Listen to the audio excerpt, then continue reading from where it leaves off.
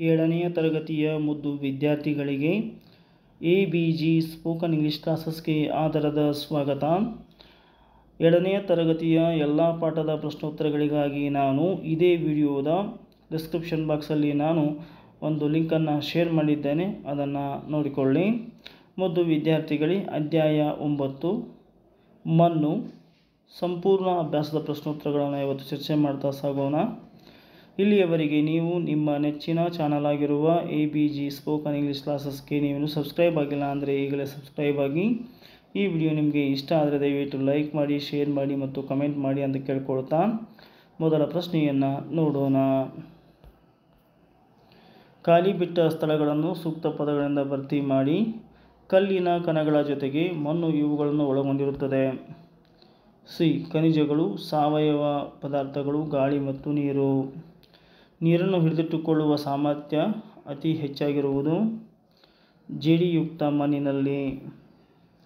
Column ಒಂದರಲ್ಲಿ ಕೊಟ್ಟಿರುವ ಅಂಶಗಳನ್ನು ಕಾಲಂ ಎರಡರಲ್ಲಿರುವ ಸೂಕ್ತ ಅಂಶಗಳೊಂದಿಗೆ ಹೊಂದಿಸಿರಿ.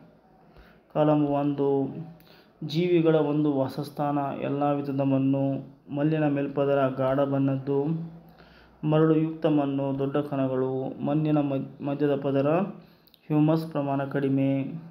ಜೇಡಿಯುಕ್ತ ಮಣ್ಣು ತಾಯಿ ಜೋಡಣೆಗೊಂಡ ಸಣ್ಣ ಕಣಗಳು. ಮಣ್ಣು ಹೇಗೆ ಉಂಟಾಗುತ್ತದೆ ವಿವರಿಸಿರಿ. ಗಾಳಿ, ನೀರು ಮತ್ತು ಹವಾಮಾನದ ಪರಿಣಾಮದಿಂದ ಬಂಡೆಗಳು ಒಡೆದು ಸನ್ ಮಣ್ಣು ಉತ್ಪತ್ತಿಯಾಗುತ್ತದೆ. ಬಂಡೆಗಳ ಮೇಲೆ ನಡೆಯುವ ಭೌತಿಕ, ರಾಸಾಯನಿಕ ಮತ್ತು ಜೈವಿಕ ಕ್ರಿಯೆಗಳಿಂದ ಮಣ್ಣು ಉತ್ಪತ್ತಿಯಾಗುತ್ತದೆ. ಜೇಡಿಯುಕ್ತ ಮಣ್ಣು ಬೆಳೆಗಳಿಗೆ ಹೇಗೆ ಉಪಯುಕ್ತವಾಗಿದೆ? ಈ ಕೆಳಗಿನ ಕಾರಣಗಳಿಂದಾಗಿ ಜೇಡಿಯುಕ್ತ ಮಣ್ಣು ಬೆಳೆಗಳಿಗೆ ಉಪಯುಕ್ತವಾಗಿದೆ. ಉತ್ತಮ ನೀರು ಹಿಡಿಯುವ ಸಾಮರ್ಥ್ಯ ಹೊಂದಿದೆ. ಜೇಡಿಯುಕ್ತ ಮಣ್ಣು ತುಂಬ ಫಲವತ್ತಾದ ಮತ್ತು ಹ್ಯೂಮಸ್ನಿಂದ ಸಮೃದ್ಧವಾಗಿದೆ. ಇದು ಉಪಯುಕ್ತ ಸಾವಯವ ಖನಿಜಗಳನ್ನು ಸಹ ಒಳಗೊಂಡಿದೆ. ಜೇಡಿಯುಕ್ತ ಮಣ್ಣು ಮತ್ತು ಸರಳುಯುಕ್ತ ಮಣ್ಣಿನ ನಡುವಿನ ವ್ಯತ್ಯಾಸವನ್ನು ಪಟ್ಟಿ ಮಾಡಿರಿ. ಜೇಡಿಯುಕ್ತ ಮಣ್ಣು ಕಣಗಳು ಗಾತ್ರದಲ್ಲಿ ಚಿಕ್ಕದಾಗಿರುತ್ತವೆ. ಈ ಮಣ್ಣಿನಲ್ಲಿ ಹ್ಯೂಮಸ್ ಸಮೃದ್ಧವಾಗಿದೆ. ಇದು ಉತ್ತಮ ನೀರಿನ ಹಿಡುವಳಿ ಸಾಮರ್ಥ್ಯವನ್ನು ಹೊಂದಿದೆ. ಕಣಗಳ ನಡುವೆ ಕಡಿಮೆ ಗಾಳಿ ಸೇರಿಕೊಳ್ಳುತ್ತದೆ ಗೋಧಿ, ಭತ್ತ, ಹೆಸರು ಮುಂತಾದ ಬೆಳೆಗಳಿಗೆ ಸೂಕ್ತವಾಗಿದೆ. ಮರಳುಯುಕ್ತ ಮಣ್ಣು ಕಣಗಳು ಗಾತ್ರದಲ್ಲಿ ದೊಡ್ಡ ದೊಡ್ಡದಾಗಿರುತ್ತವೆ. ಈ ಮಣ್ಣಿನಲ್ಲಿ ಹ್ಯೂಮಸ್ ಸಮೃದ್ಧವಾಗಿಲ್ಲ. ಈ ಕಡಿಮೆ, ಇದು ಕಡಿಮೆ ನೀರನ್ನು ಉಳಿಸಿಕೊಳ್ಳುವ ಸಾಮರ್ಥ್ಯವನ್ನು ಹೊಂದಿದೆ. ಕಣಗಳ ನಡುವೆ ಹೆಚ್ಚಿನ ಗಾಳಿ ಸೇರಿಕೊಂಡಿರುತ್ತದೆ. ಹತ್ತಿ, ಕಡಲೆಕಾಯಿ ಮುಂತಾದ ಬೆಳೆಗಳಿಗೆ ಸೂಕ್ತವಾಗಿದೆ. ಮಣ್ಣಿನ ಪದರುಗಳು ಸೀಳ ನೀಳ ಸೀಳಿಕೆ ಚಿತ್ರ ಬರೆದು ವಿವಿಧ ಸ್ಥಳಗಳನ್ನು ಹೆಸರಿಸಿರಿ.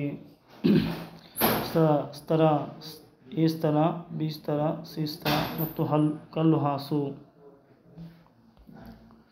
ನೀರು ಇಂಗುವ ದರಕ್ಕೆ ಸಂಬಂಧಿಸಿದ ಪ್ರಯೋಗವನ್ನು ರಜಿಯಾ ತನ್ನ ಜಮೀನಿನಲ್ಲಿ ಮಾಡಿದ್ದಾಳೆ. ಮಣ್ಣಿನ ಮಾದರಿಯ ಮೂಲಕ ಎರಡುನೂರು ಎಂ ಎಲ್ ನೀರು ಇಂಗಲು ನಾಲ್ಕು, ನಲವತ್ತು ಮಿನಿಟ್ ತೆಗೆದುಕೊಂಡಿದ್ದನ್ನು ಅವರು ಗಮನಿಸಿದ್ದಾಳು. ನೀರು ಇಂಗುವ ದರವನ್ನು ಲೆಕ್ಕಾಚಾರ ಮಾಡಿರಿ. ರಜಿಯಾ ತೆಗೆದುಕೊಂಡ ಒಟ್ಟು ನೀರಿನ ಪ್ರಮಾಣ ಎರಡುನೂರು ಎಂ ಎಲ್ ನೀರು ಇಂಗಲು ತೆಗೆದುಕೊಂಡ ಸಮಯ ಕೊಟ್ಟಿರುವಂತೆ ನಲವತ್ತು ನಿಮಿಷ. ನೀರು ಇಂಗುವ ಸಮಯ, ನೀರಿನ ಪ್ರಮಾಣ ಎಂ ಎಲ್ ಇಂಗಲು ತೆಗೆದುಕೊಂಡ ಸಮಯ ಮಿನಿಟ್. ಎರಡುನೂರು ಎಂ ಎಲ್ ನಲವತ್ತು ಮಿನಿಟ್, ಐದು ಎಂ ಎಲ್ ಪರ್ ಮಿನಿಟ್. ಮಣ್ಣಿನ ಮಾಲಿನ್ಯ ಮತ್ತು ಮಣ್ಣಿನ ಸವೆತವನ್ನು ತಡೆಗಟ್ಟಲು ಹೇಗೆ ಸಾಧ್ಯವಾಗುವುದು ಎಂದು ವಿವರಿಸಿರಿ. ಮಣ್ಣಿನ ಮಾಲಿನ್ಯವನ್ನು ತಡೆಗಟ್ಟಲು ಈ ಕೆಳಗಿನ ವಿಧಾನಗಳನ್ನು ಅನುಸರಿಸಬಹುದು. ಕೀಟನಾಶಕಗಳು ಮತ್ತು ಕೀಟನಾಶಕಗಳನ್ನು ಸೀಮಿತ ಪ್ರಮಾಣದಲ್ಲಿ ಬಳಸಬೇಕು. ರಾಸಾಯನಿಕ ಗೊಬ್ಬರಗಳಿಗೆ ಬದಲಾಗಿ ಸಾವಯವ ಗೊಬ್ಬರವನ್ನು ಬಳಸಬೇಕು. ಕೈಗಾರಿಕಾ ವಿಸರ್ಜನೆಯನ್ನು ಬಿಡುಗಡೆ ಮಾಡುವ ಮೊದಲು ಸರಿಯಾಗಿ ಸಂಶ್ಲೇಷಿಸಬೇಕು. ಮಣ್ಣಿ ಮಣ್ಣಿನ ಸವೆತವನ್ನು ತಡೆಗಟ್ಟಲು ಈ ಕೆಳಗಿನ ವಿಧಾನಗಳನ್ನು ಅನುಸರಿಸಬಹುದು. ಅರಣ್ಯ ನಾಶವನ್ನು ತಡೆಯಬೇಕು, ಅರಣ್ಯೀಕರಣವನ್ನು ಪ್ರೋತ್ಸಾಹಿಸಬೇಕು, ಮಿಶ್ರ ಕೃಷಿ ಬೆಳೆ ಬೆಳೆ ಬದಲಾವಣೆಗಳನ್ನು ಪ್ರೋತ್ಸಾಹಿಸಬೇಕು. ಸೊ, ಮುದ್ದು ವಿದ್ಯಾರ್ಥಿಗಳೇ, ಇಲ್ಲಿಯವರೆಗೆ ನೀವು ನಿಮ್ಮ ನೆಚ್ಚಿನ ಚಾನಲ್ ಆಗಿರುವ A B G spoken English ಕ್ಲಾಸಸ್ಗೆ ನೀವು ಸಬ್ಸ್ಕ್ರೈಬ್ ಆಗಿಲ್ಲ ಅಂದರೆ ಈಗಲೇ ಸಬ್ಸ್ಕ್ರೈಬ್ ಆಗಿ ಈ ವಿಡಿಯೋ ನಿಮಗೆ ಇಷ್ಟ ಆದರೆ ದಯವಿಟ್ಟು ಲೈಕ್ ಮಾಡಿ ಶೇರ್ ಮಾಡಿ ಕಮೆಂಟ್ ಮಾಡಿ ಅಂತ ಕೇಳಿಕೊಳ್ಳುತ್ತಾ. ಧನ್ಯವಾದಗಳು.